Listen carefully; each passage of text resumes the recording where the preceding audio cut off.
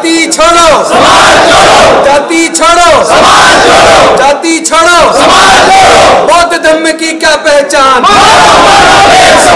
बौद्ध धर्म की क्या पहचान? बौद्ध धर्म की क्या पहचान? हमारा नारा। हमारा नारा।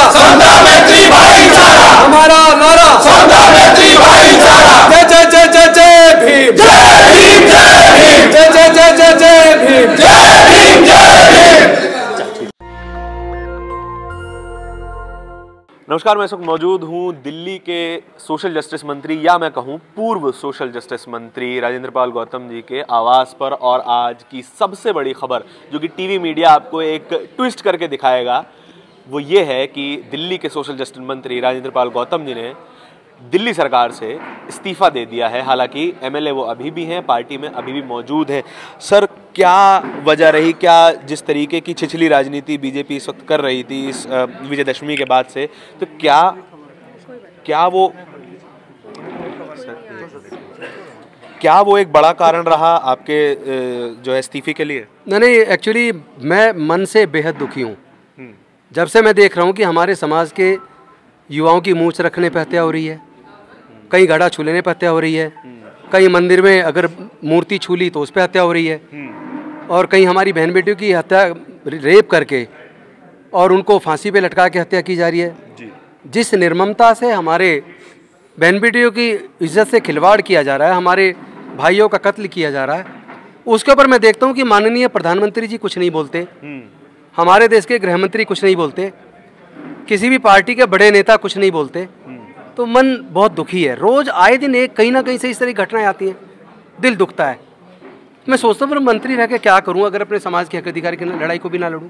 जी। और ऊपर से फिर जो अशोक विजय दसवीं पर मिशन जय भीम और द सोसाइटी ऑफ़ इंडिया द्वारा जो दीक्षा दीक्षा का एक आयोजन किया धम्म दीक्षा दिवस के अवसर पर अशोक विजय दसवीं पर उसमें हज़ारों लोग दस हज़ार से ज़्यादा लोग उसमें इकट्ठे हुए। और पूरे देश में अशोक विजय दसवीं पर हज़ारों जगह पर करोड़ों लोग हर साल बौद्ध धर्म की दीक्षा के आयोजन में उन 22 प्रतिज्ञाओं को दोहराते हैं जिनको डॉक्टर बाबा साहब अंबेडकर जी ने समाज को दिया था। सर आ, और दूसरी बात हाँ। कि वही प्रतिज्ञाएँ भारत सरकार का मंत्रालय वो भी उनको उन्होंने वॉल्यूम सत्रह के अंदर doctor Ambedkar write and speeches के अंदर छापा है। उन उन प्रतिज्ञाओं पर इतना बवाल मचा दिया बीजेपी ने। मैं एक व्यक्तिगत उसमें अपने सम, एक बाबा साहब का सिपाही होने के नाते उस आयोजन में गया था और वहाँ बाईस प्रतिज्ञाएँ जो बाबा साहब ने दिलवाई थी वही प्रतिज्ञाएँ दिलवाई है। उसके खिलाफ बीजेपी ने इतना षड्यंत्र किया जबकि इसका कोई मेरी पार्टी से कोई लेना देना नहीं था। लेकिन वो लोग आम आदमी पार्टी को और अरविंद केजरीवाल को जिन्होंने मुझे इतना सम्मान और सहयोग दिया उनके ऊपर हमलावर हैं। बाबा साहब को ऊपर हमला। मैं ये पूछना चाहता हूँ इन लोगों को बाबा साहब से इतनी नफरत क्यों है? इन लोगों को हमारे अनुसूचित जाति जनजाति पिछड़े वर्ग के लोगों से इतनी नफरत क्यों है? आखिर बाबा साहब ने इनका बिगाड़ा क्या है? तो ये बाईस प्रतिज्ञाएँ तो उन्नीस सौ छप्पन से 14 अक्टूबर उन्नीस सौ छप्पन लगातार चली आ रही है।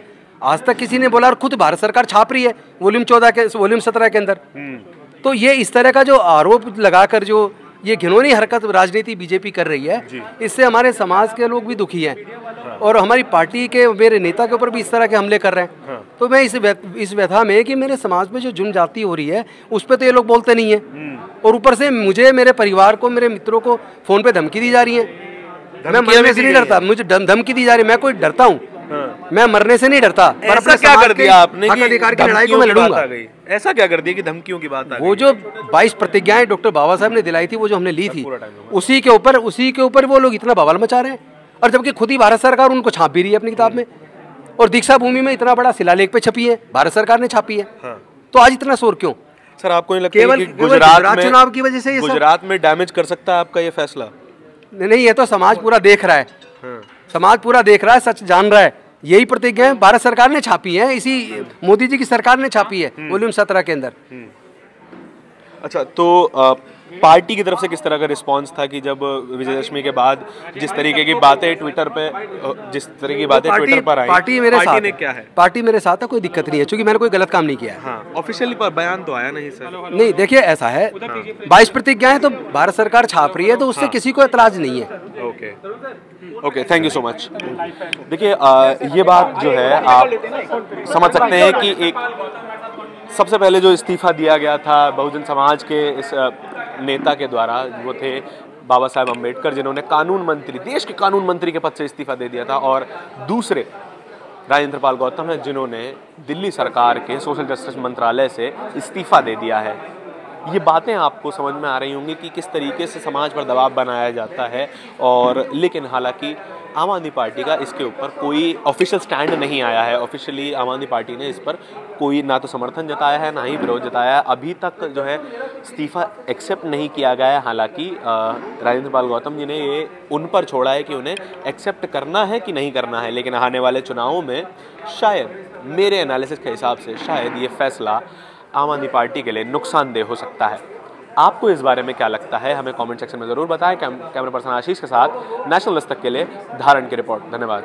नेशनल दस्तक की आपसे गुजारिश है कि अगर इसको बचाना चाहते हैं तो नेशनल दस्तक को सब्सक्राइब करने के लिए रेड कलर के सब्सक्राइब बटन को दबाएँ फिर बेल आइकन की घंटी दबाएँ। नेशनल दस्तक को बचाने के लिए बहुत ज़रूरी है कि हर खबर को शेयर करें लाइक करें कमेंट ज़रूर करें।